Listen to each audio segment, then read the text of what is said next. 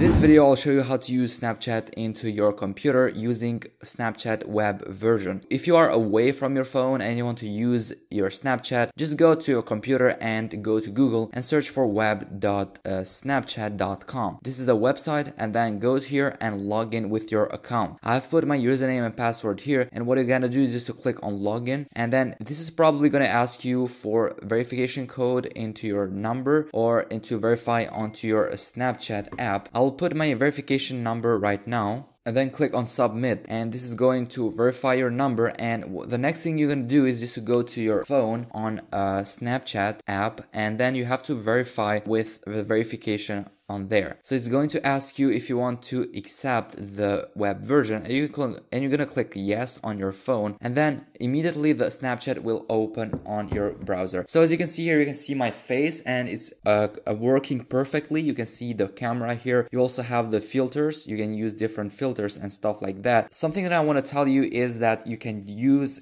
you can do screenshots using this version of web and you can do the record the conversations and do a lot of things using the version of web of Snapchat. Let's go to chat. I'll go to a random chat here on my Snap. And as you can see here, you can send texts and you can also send images and play games or do anything you want, just like you do on the Snapchat on your phone. But something that you want to do is screenshots and get the conversation. So as soon as you start to do screenshot in your computer and to start the screenshotter, it is going to show you this. It looks like you are trying to take a screenshot. A way to fix this or to, to remove this and do the screenshot without getting caught, you can do this thing. So just go to apps and minimize your apps like this. So now what you're gonna do is just open the screenshotter and then you can use the screenshot feature for this. And then as you can see, I'm screenshotting the chat right now and after I done the screenshot I can see my screenshot if I go to finder here on desktop. And as you can see this is a screenshot. It's high quality and it is the, it is not going to show you that you have just made a screenshot. And the person is not never going to realize that you've done a screenshot. As you can see it doesn't show anything that you've done a screenshot. So this is how you can do a screenshot. You can also record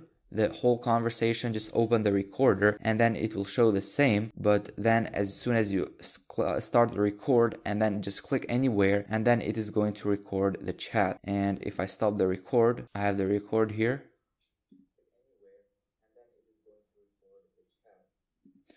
here as you can see that you can record it and do a lot of things with the Snapchat web version. Okay guys, this was a video for the day. It was very short. I just wanted to let you know that you can use Snapchat also in your computer and do a lot more things that you can do on the app. But this makes me realize that with this web version you can do a lot of bots you can do a lot of automation you can use a lot of scripts you can you use python to automate anything on here. So like messages stories or to take to take photos or anything else. So if you're interested about this please let me know and i'll make sure to uh, do any bot for you and upload it on my youtube channel. So guys this was a video for today. Hopefully you like it. I'll see you in the next videos. Peace